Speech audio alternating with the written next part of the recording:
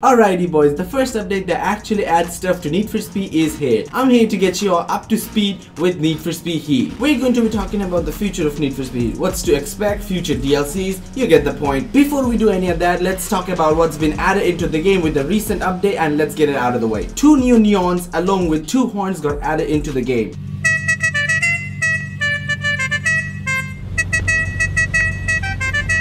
That's how the first neon looks like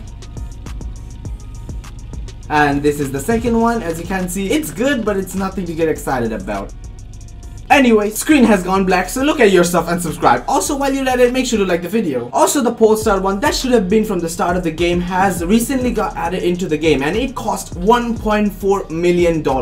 Honestly, it should have been here from the start of the game, but it's sad that it wasn't. But you know the sad part?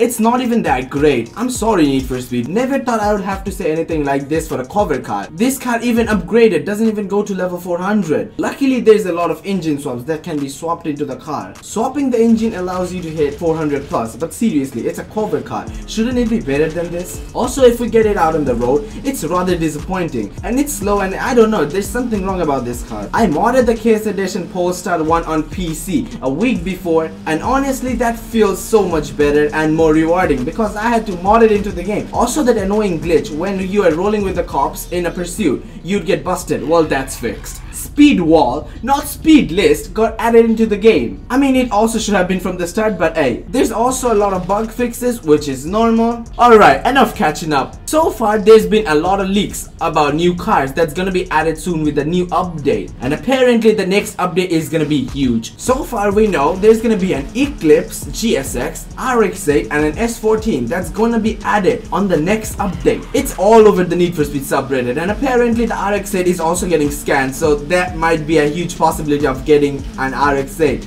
into the game, if that makes any sense. Also, the speed list might get added as well with the new update. We actually need that because there's nothing to do on Heat right now. I play Heat just to test out new cars and take pictures of it for my Instagram account. If you guys didn't know, a cheeky plug, follow at the rate all about Need for Speed. I regularly post pictures there, so if you guys want to get some spicy pictures, that's the place. But I guess that's all the information that we have on Need for Speed Heat and Christmas DLC. I don't know, that was rather disappointing. If you guys want another Supra video, that's gonna be on Forza Horizon 4 I mean that actually is on Forza Horizon 4 at this point. But if you guys want to see a video of it or a live stream feel free to tell me on the comment section. That's gonna be pretty much it for me. It's been your boy GaZiPRO and I'll be seeing you guys on the next video. Let's wrap it up here and peace out boys